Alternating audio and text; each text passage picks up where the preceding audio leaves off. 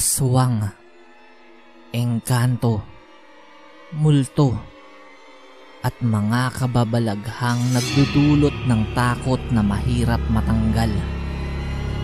Subalit nang iniwan niya ako, ay mas natakot na akong magmahal.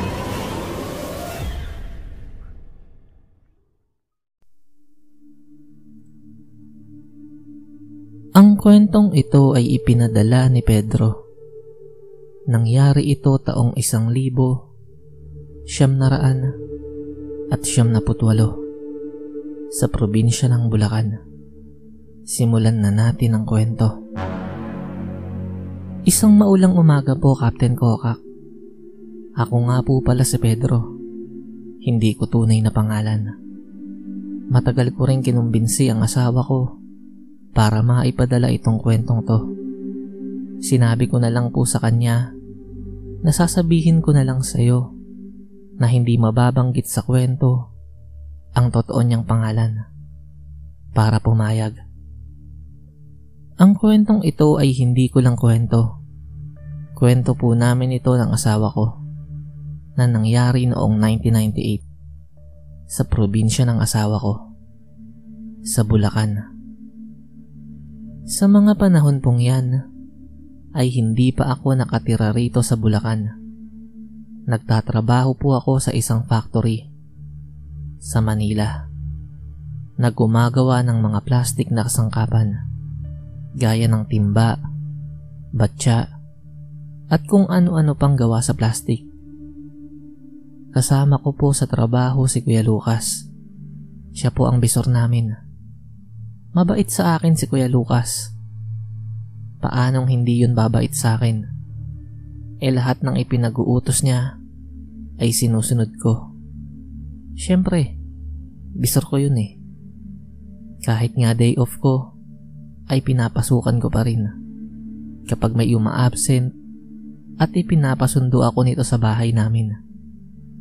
Istrikto si Kuya Lucas. Pero pagdating naman sa mga manggagawa na marunong sumunod at nagtatrabaho ng maayos ay napakabait nito. Isang araw, habang magkasabay kaming kumakain ni Kuya Lucas sa kantin, ay may itinanong ito sa akin kung gusto ko raw bang magbakasyon. Deserve ko raw yun dahil puro trabaho na lang daw ang inaatupag ko. Agad naman akong sumagot na ayaw ko Sinabi ko sa kanya na nanghihinayang ako sa sasahurin sa mga araw na hindi ako makakapasok kapag nagbakasyon ako. Doon na sinabi ni Kuya Lucas na magbabakasyon daw siya ng isang linggo sa probinsya nila. Malapit lang naman daw. Sa Bulacan lang. Inalok ako nito na samahan ko raw siya. Tumanggi pa rin ako. Pero nung sinabi niya na babayaran niya ang limang araw na dapat ay sasahurin ko sa trabaho, ay mabilis na akong pumayag.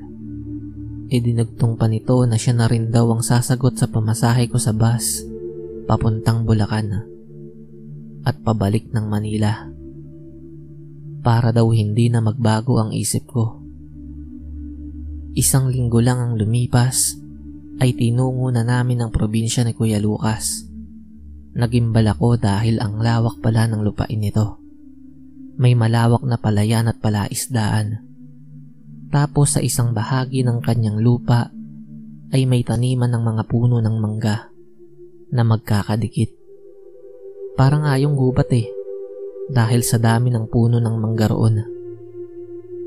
Ang nakakalungkot lang ay wala na palang mga magulang si Kuya Lucas ang tanging naiwan na lang pala sa probinsya nila para mag-asikaso ay ang nakababata niyang kapatid na si Elizabeth. Nang makilala ko nga ito, ay bumili bagad ako rito eh. 25 anyos pa lang kasi siya. Kaidarang ko lang.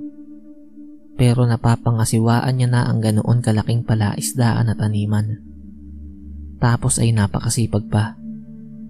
Parang hindi iyon nakukontentong nakatayo lang o nakaupo. Parang gusto niya na palaging may ginagawa siya. Isa lang ang ayaw ko sa kanya. Napakataray. Pero napakaganda niya Captain Kokak.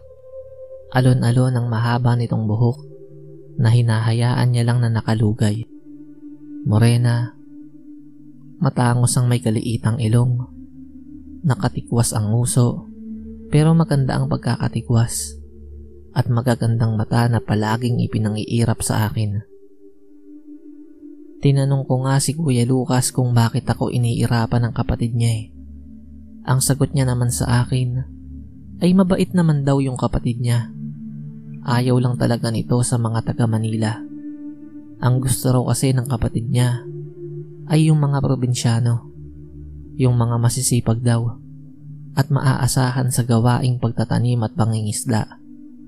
Pinagkibit balikat ko na lang yung mga sinabi ni Kuya Lucas. Hindi ko naman kasi gusto yung kapatid niya eh. Isang umaga ay mas maaga akong nagising at lumabas ng bahay. Nakita ko si Elizabeth na nagsisibak ng kahoy. Unang beses ko palang nakakita ng babaeng nagsisibak ng kahoy na gamit ang palakol ng mga oras na yon. Lumapit ako para magpresenta na ako na ang magsisibak pero tumanggi ito. Bisita raw ako. Sa kakaya niya naman daw yung tapusin. Hinayaan ko na lang siya at umupo na lang ako sa upuang naroon. Maya-maya ay may dumaang isang matandang lalaki na may kasamang isang dalaga. Yung dalaga, napakaganda. Morena rin. Pero sobrang ganda talaga. Tumitig pa nga yun sa akin eh. Kaya napatitig na rin ako. Nang biglang nagsalita si Elizabeth at itinuro sa dalawang yun ang hawak na palakol. Halos pasigaw nitong sinabi sa dalawa na kung ano raw ang binabalak ng mga ito ay wag nang ituloy. Sabay baling ng tingin sa akin. Idinugtong pa nito na kaibigan daw ako ng kuya niya at hindi basta-basta dayo lang. Mabilis namang umalis ang matandang yon at ang kasama nitong dalaga. Tapos ay lumapit sa akin si Elizabeth. Pagalit nitong sinabi na wag daw akong basta-basta makikipagtitigan sa mga tao roon. Dayo lang daw ako. Wala raw akong alam. Dinugtong pa nito na ganoon daw ba talaga ang mga taga Manila. Parang ngayon lang daw nakakita ng dalaga. Naiinis na talaga ako sa mga oras na yon. Nagtitimpi na lang talaga ako. Nakakahiya kasi kay Kuya Lucas. Kung papatulan ko ang kapatid niya. Mukhang may topak eh. Buti na lang talaga at maganda. Nang kinagabihan ding yon, ay maagang natulog si Kuya Lucas at ang kapatid nito. Nagpaalam ako sa mga ito. Naroon muna ako sa labas. Magpapahangin. Gusto ko rin kasi yung naririnig kong tunog ng kuliklik mula sa bukid eh. Nang bigla ay may narinig akong mga pagkaluskos na nanggagaling doon sa palayan na mataas ang pagkakatubo. Inaninig kong maigi pero wala naman akong masyadong makita. Madilim eh. Pinagwalang bahala ko na lang yon. Maya-maya ulit ay may kumakaluskos na naman. Minasdan ko ulit yung bahaging iyon ng palayan at pinakatitigan. Nang hilakbot ako sa nilalang na nakita kong humawi sa mga tanim na palay. Napakalaking aso noon. Kulay itim. Nang tuluyan na iyong lumabas sa palayan, ay ang paglabas din ng isa pang aso. Mas maliit iyon kaysa sa una, pero malaki pa rin. Umaangil ang mga yun at unti-unting lumalapit sa akin. Gusto kong sumigaw sa mga oras na yun pero ewan ko ba, hindi talaga ako makasigaw. Kaya ang ginawa ko ay tumayo ako at lumapit sa pinto. Natumba pa nga ako dahil talagang nangangatog ang tuhod ko eh. Ang ginawa ko ay hinampas ko ng hinampas yung pinto ng bahay. Maya-maya ay binuksan ni Elizabeth yung pinto. Nang makita nito kung ano ang nangyayari, ay bumalik ito sa loob. Paglabas nito ay may hawak na itong itak at hinarap yung dalawang malaking aso. Pinagmumura niya ng pinagmumura ang mga yon at parang pagalit na kinakausap. Maya-maya ay lumabas na rin si Kuya Lucas at may bitbit na shotgun. Nagpaputok ito pa itaas. Dahil doon ay mabilis na nagsitakbuhan papalayo yung dalawang aso. Sumuot ito sa palayan. Tumakbo patungo roon sa taniman ng mga mangga. Matapos yung eksena ngayon, ay itinayo at inalalayan ako ni Kuya Lucas. Iyon din ang kauna-unahang pagkakataon na nilapitan ako ni Elizabeth nang hindi ito nakasimangot. Kinamusta ako nito kung ayos lang daw ba ako. Tapos ay sinabihan ako nitong gwapo pala ako kapag natatakot. Sabay tawa. Nakitawan na rin si Kuya Lucas habang ako ay natatakot pa rin. Captain Kokak, noong huling dalawang araw ng aming bakasyon sa Bulacan, ay naging magkasundo na kami ni Elizabeth. Totoo nga ang sinabi ni Kuya Lucas na mabait nga ito. Nang makabalik kami sa Maynila ay madalas na kaming nagtatawagan sa telepono. At talagang dinadalaw ko na siya sa probinsya kapag araw ng day off ko. Kaya ayun, nagkatuluyan kami. Kaming dalawa na ang namamahala sa palaisdaan at palayan. Habang si Kuya Lucas naman ay sa Maynila pa rin naninirahan. At nakahanap na ng ibang trabahong mas mataas ang pwesto at mas malaki ang sahod. Hanggang dito na lang Captain Kokak.